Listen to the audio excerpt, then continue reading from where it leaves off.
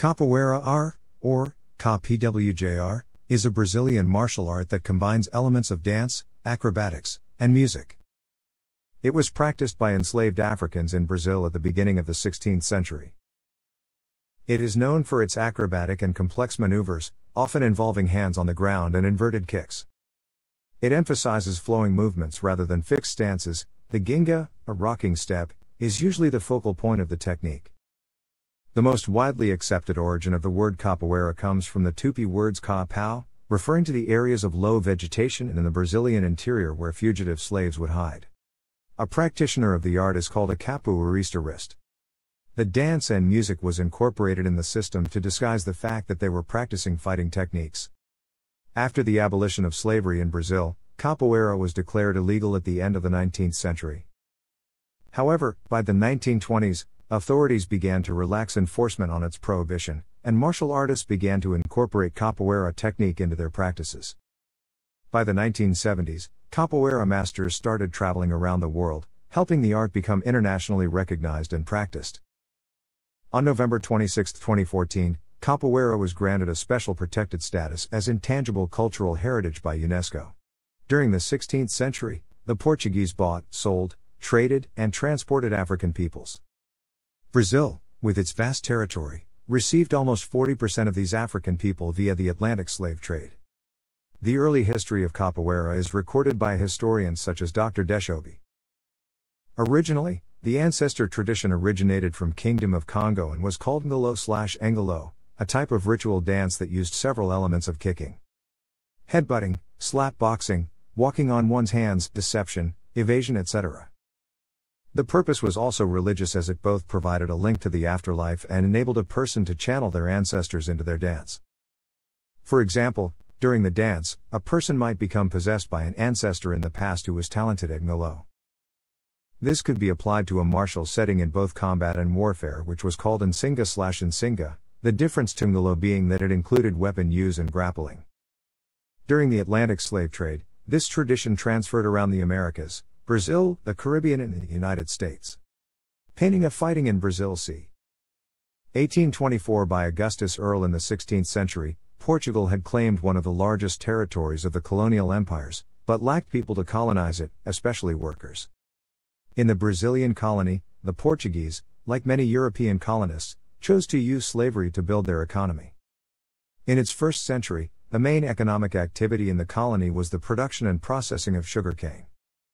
Portuguese colonists created large sugarcane farms called engenhos, literally engines, which depended on the labor of slaves.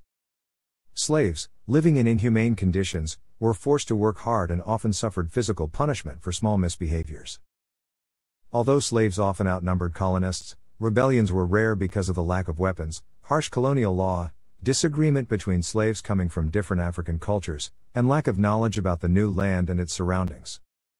Capoeira originated within as a product of the Angolan tradition of Angolo but became applied as a method of survival that was known to slaves. It was a tool with which an escaped slave, completely unequipped, could survive in the hostile, unknown land and face the hunt of the Capitães do Mato, the armed and mounted colonial agents who were charged with finding and capturing escapees. As Brazil became more urbanized in the 17th and 18th century, the nature of capoeira stayed largely the same. However, the nature of the slavery differed from that in the United States. Since many slaves worked in the cities and were most of the time outside the master's supervision, they would be tasked with finding work to do and in return they would pay the master a share of the money they made. It is here where capoeira was common as it created opportunities for slaves to practice during and after work. Though tolerated until the 1800s, this quickly became criminalized after due to its association with being African as well as a threat to the current ruling regime. Zumbi by Antonio Parreiras soon several groups of enslaved persons liberated themselves gathered and established settlements, known as quilombos, in far and hard to reach places. Some quilombos would soon increase in size, attracting more fugitive slaves, Brazilian natives, and even Europeans escaping the law or Christian extremism. Some quilombos would grow to an enormous size, becoming a real independent multi-ethnic state. Everyday life in a Quilombo offered freedom and the opportunity to revive traditional cultures away from colonial oppression. In this kind of multi ethnic community, constantly threatened by Portuguese colonial troops, capoeira evolved from a survival tool to a martial art focused on war. The biggest quilombo, the Quilombo dos Palmares, consisted of many villages which lasted more than a century, resisting at least 24 small attacks and 18 colonial invasions.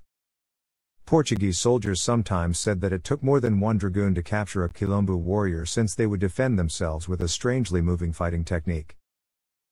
The provincial governor declared it is harder to defeat a Quilombo than the Dutch invaders. In 1808, the prince and future King Dom João VI, along with the Portuguese court, escaped to Brazil from the invasion of Portugal by Napoleon's troops. Formerly exploited only for its natural resources and commodity crops, the colony finally began to develop as a nation. The Portuguese monopoly effectively came to an end when Brazilian ports opened for trade with friendly foreign nations. Those cities grew in importance and Brazilians got permission to manufacture common products once required to be imported from Portugal, such as glass. Registries of capoeira practices existed since the 18th century in Rio de Janeiro, Salvador, and Recife. Due to city growth, more slaves were brought to cities, and the increase in social life in the cities made capoeira more prominent and allowed it to be taught and practiced among more people.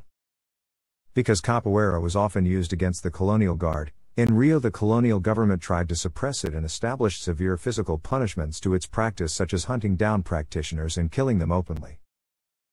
Ample data from police records from the 1800s shows that many slaves and free colored people were detained for practicing capoeira, from 288 slaves that entered the Calabouço jail during the years 1857 and 1858.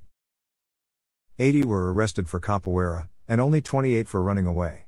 Out of 4,303 arrests in Rio Police Jail in 1862, 404 detainees, nearly 10%, had been arrested for capoeira.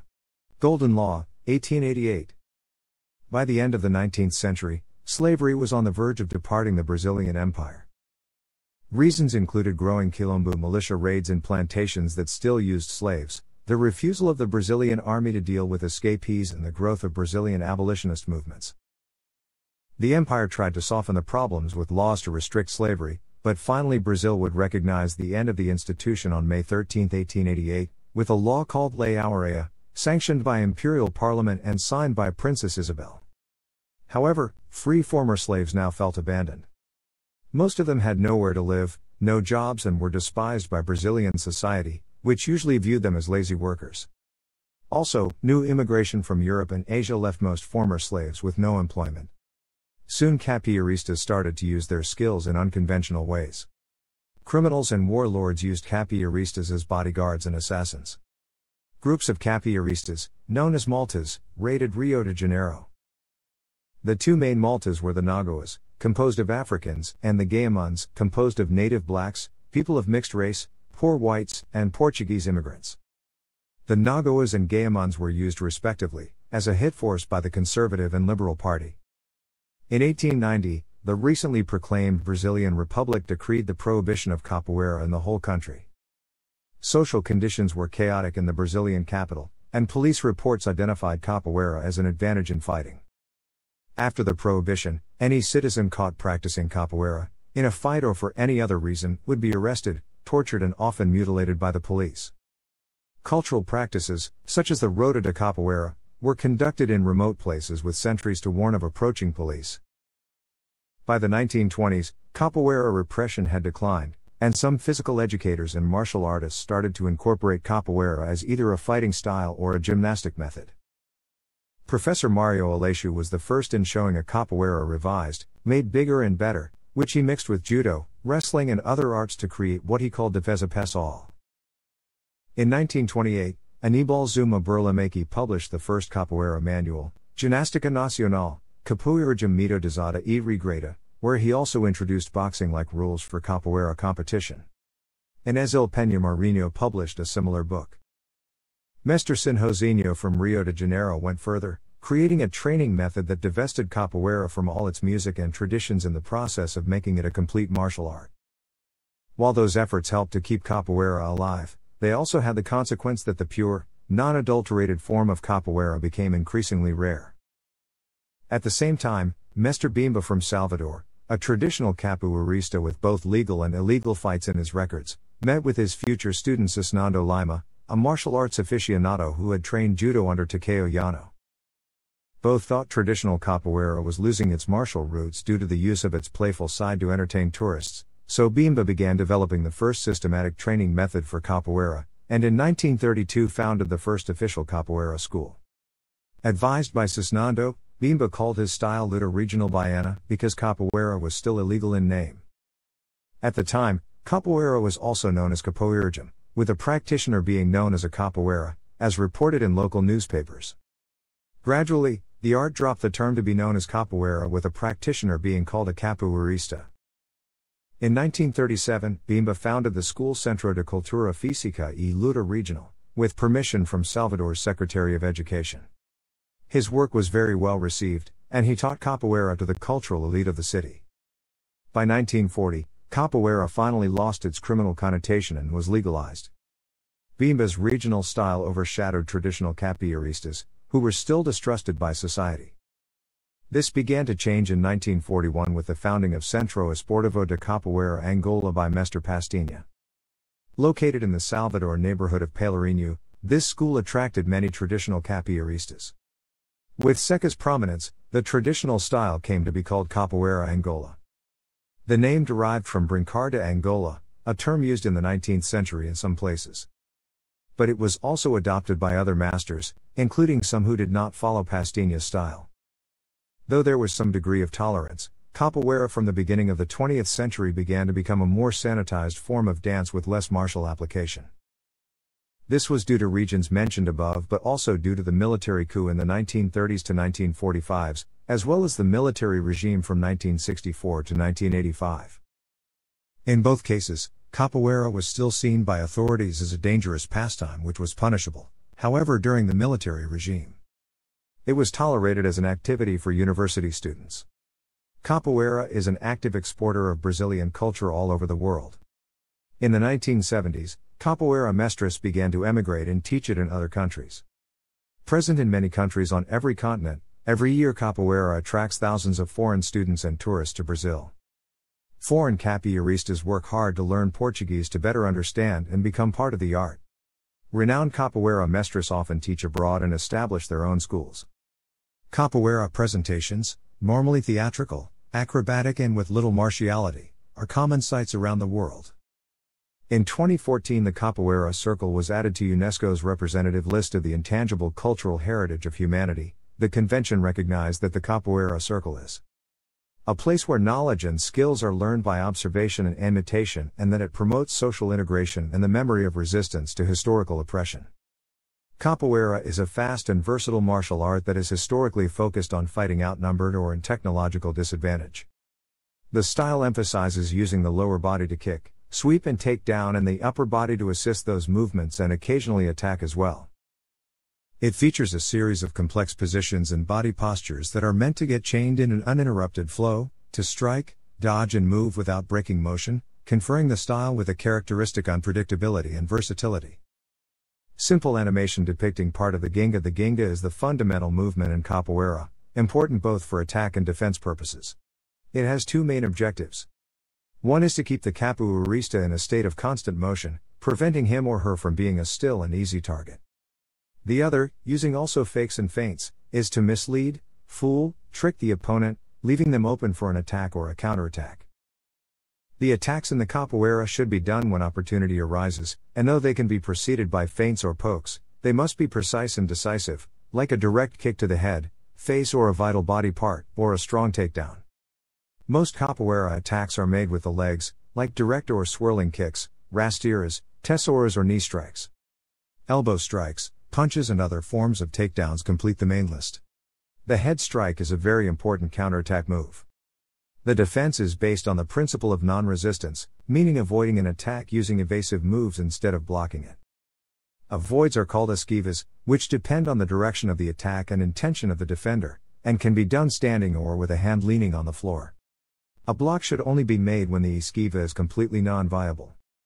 This fighting strategy allows quick and unpredictable counterattacks, the ability to focus on more than one adversary and to face empty handed an armed adversary. A capoeira movement, a series of rolls and acrobatics, allows the capoeirista to quickly overcome a takedown or a loss of balance. And to position themselves around the aggressor to lay up for an attack.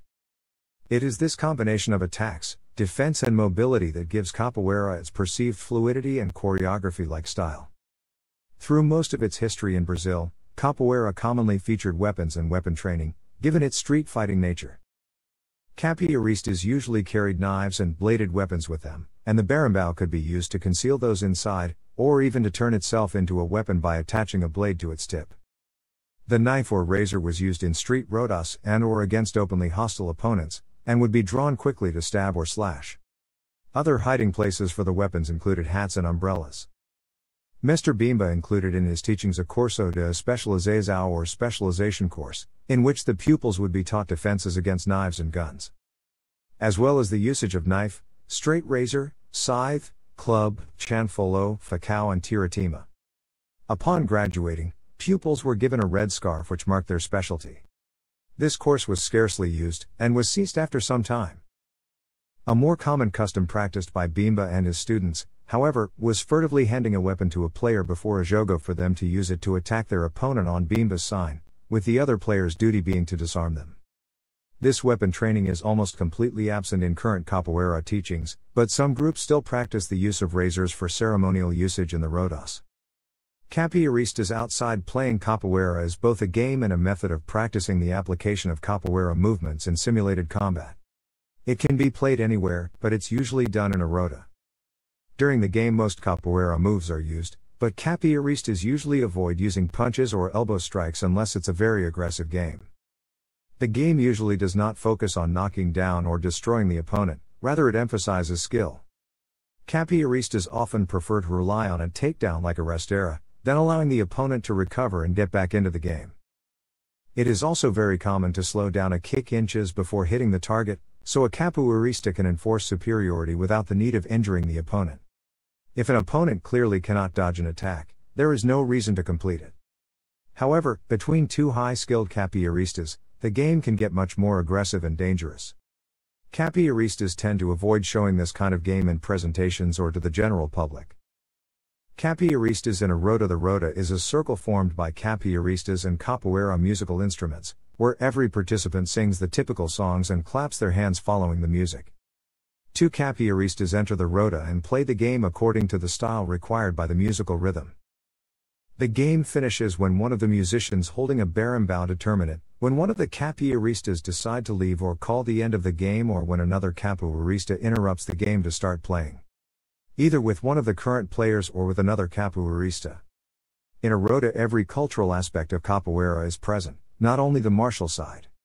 Aerial acrobatics are common in a presentation roda, while not seen as often in a more serious one. Takedowns, on the other hand, are common in a serious roda but rarely seen in presentations. Batizado The Batizado is a ceremonial roda where new students will get recognized as capoeiristas and earn their first graduation. Also, more experienced students may go up in rank, depending on their skills in capoeira culture. In Mestre Bimba's Capoeira Regional, Batizado was the first time a new student would play capoeira following the sound of the berimbau. Students enter the roda against a high ranked capoeirista, and normally the game ends with the student being taken down. In some cases, the more experienced capoeirista can judge the takedown unnecessary. Following the batizado, the new graduation, generally in the form of a cord, is given. Apelido Traditionally, the batizado is the moment when the new practitioner gets or formalizes his or her apelido. This tradition was created back when capoeira practice was considered a crime. To avoid having problems with the law, capoeiristas would present themselves in the capoeira community only by their nicknames. So if a capoeirista was captured by the police, he would be unable to identify his fellow capoeiristas, even when tortured. Apelidos can come from many different things, such as a physical characteristic, a habit, place of birth, a particular skill, an animal, or trivial things. Even though apelidos or these nicknames are not necessary anymore, the tradition is still very alive not only in capoeira but in many aspects of Brazilian culture. Chamada means call and can happen at any time during a roda where the rhythm Angola is being played. It happens when one player, usually the more advanced one, calls his or her opponent to a dance like ritual. The opponent then approaches the caller and meets him or her to walk side by side. After it, both resume normal play.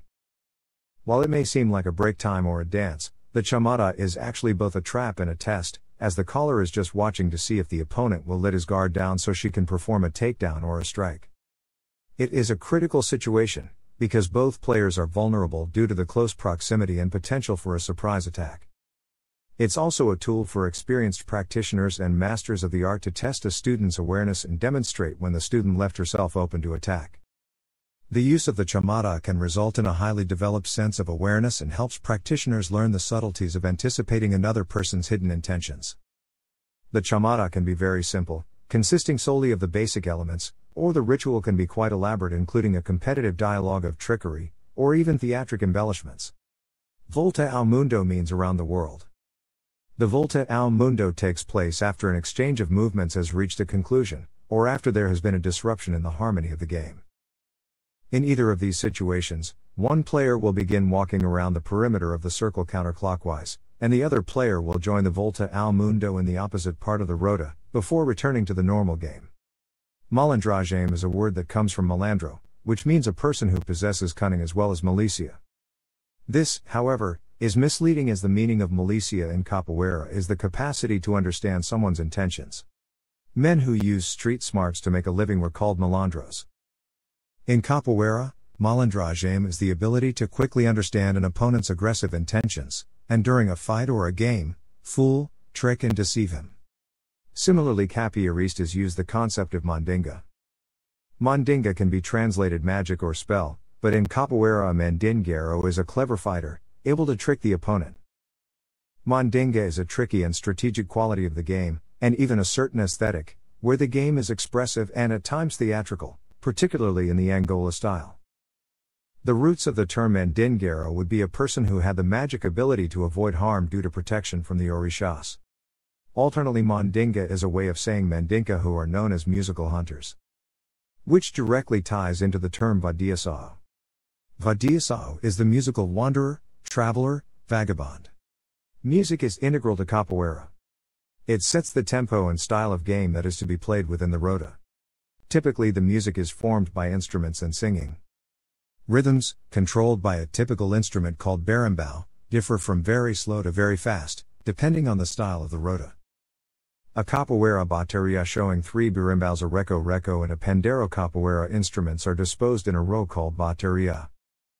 It is traditionally formed by three berimbaus, two pandeiros, three atabaques, one agogo, and one ganza, but this format may vary depending on the capoeira group's traditions or the roda style. The berimbau is the leading instrument, determining the tempo and style of the music and game played. Two low pitch berimbaus form the bass, and a high pitch berimbau makes variations and improvisations. The other instruments must follow the berimbau's rhythm, free to vary and improvise a little, depending upon the capoeira group's musical style. As the capoeiristas change their playing style significantly following the toque of the berimbau, which sets the game's speed, style, and aggressiveness, it is truly the music that drives a capoeira game. Many of the songs are sung in a call and response format while others are in the form of a narrative. Capoeiristas sing about a wide variety of subjects. Some songs are about history or stories of famous capoeiristas. Other songs attempt to inspire players to play better. Some songs are about what is going on within the roda. Sometimes the songs are about life or love lost. Others have light-hearted and playful lyrics. There are four basic kinds of songs in capoeira, the ladainha, chula, corrido, and quadra. The ladainha is a narrative solo sung only at the beginning of a roda, often by a mestre or most respected capoeirista present. The solo is followed by a louvação, a call and response pattern that usually thanks God and one's master, among other things. Each call is usually repeated word for word by the responders. The chula is a song where the singer part is much bigger than the chorus response, usually 8 singer verses for one chorus response, but the proportion may vary. The corrido is a song where the singer part and the chorus response are equal, normally 2 verses by 2 responses. Finally, the quadra is a song where the same verse is repeated 4 times, either 3 singer verses followed by one chorus response, or one verse and one response. Capoeira songs can talk about virtually anything, being it about a historical fact, a famous capoeirista, trivial life facts, hidden messages for players, anything. Improvisation is very important also, while singing a song, the main singer can change the music's lyrics, telling something that's happening in or outside the roda.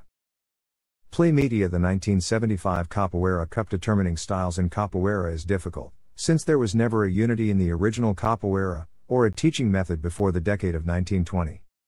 However, a division between two styles and a substyle is widely accepted. Capoeira de Angola refers to every capoeira that maintains traditions from before the creation of the regional style.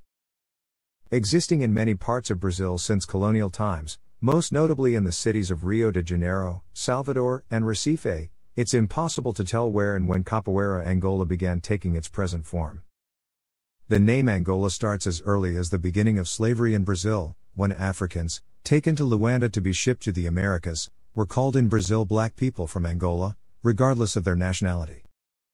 In some places of Brazil, people would refer to capoeira as playing Angola and, according to Mestre Noronha, the Capoeira School Centro de Capoeira Angola Conceição de Praia. Created in Bahia, already used the name Capoeira Angola illegally in the beginning of the 1920 decade. The name Angola was finally immortalized by Mestre Pastinha at February 23, 1941, when he opened the Centro Esportivo de Capoeira Angola. Pastinha preferred the ludic aspects of the game rather than the martial side, and was much respected by recognized capoeira masters. Soon many other masters would adopt the name Angola, even those who would not follow Pastinha's style. The ideal of Capoeira Angola is to maintain Capoeira as close to its roots as possible.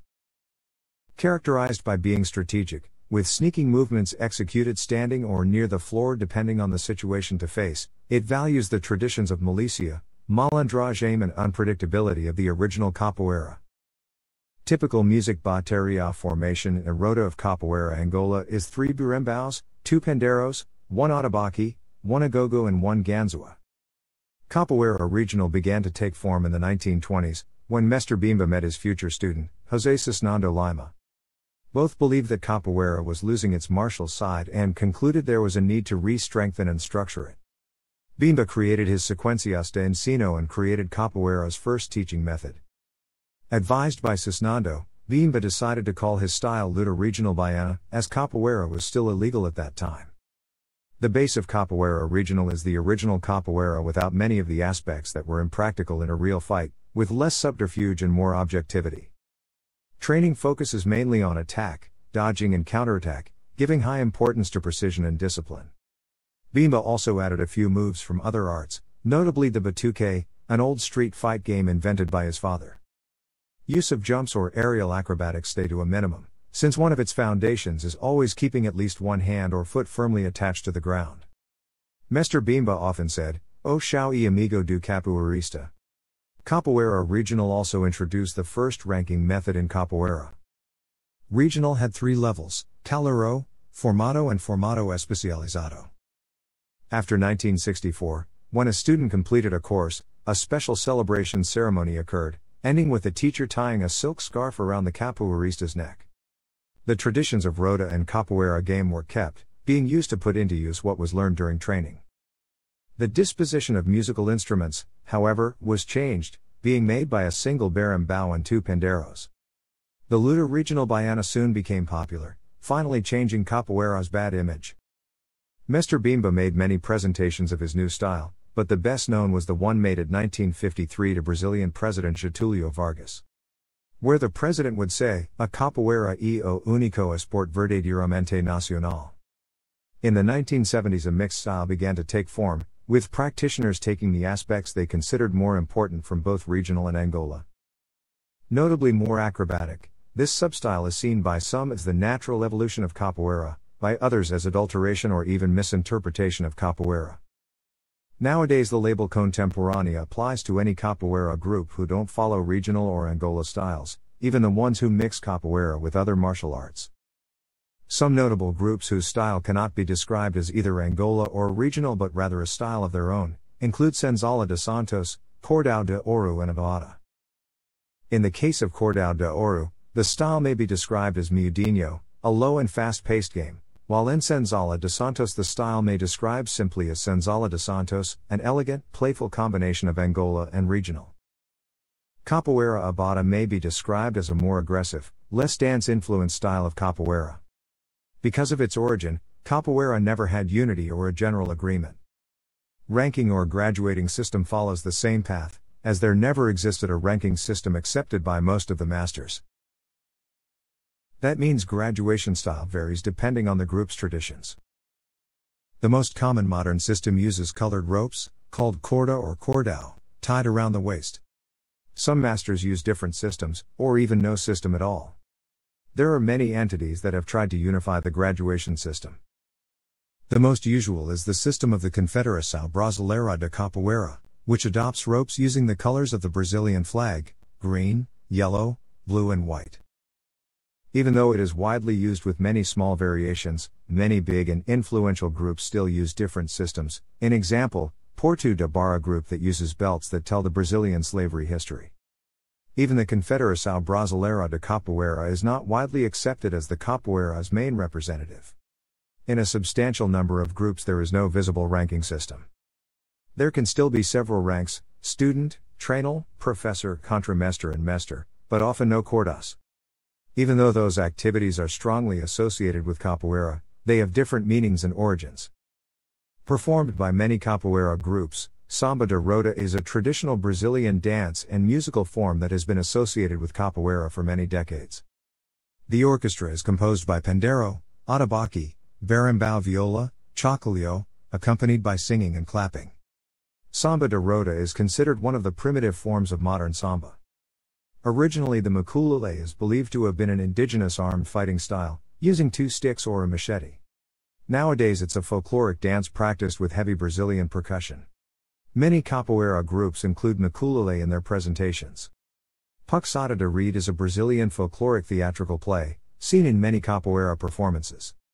It is based on a traditional Brazilian legend involving the loss of a fisherman in a seafaring accident. Capoeira is currently being used as a tool in sports development to promote psychosocial well being in various youth projects around the world. Capoeira for Refugees is a UK based NGO working with youth in conflict zones in the Middle East. Capoeira for Peace is a project based in the Democratic Republic of Congo. The Nukanti Foundation works with street children in Colombia. Capoeira Maculelê has social projects promoting cultural arts for wellness in Colombia, Angola, Brazil, Argentina, USA, among others. Many Brazilian mixed martial arts fighters have a capoeira background, either training often or having tried it before.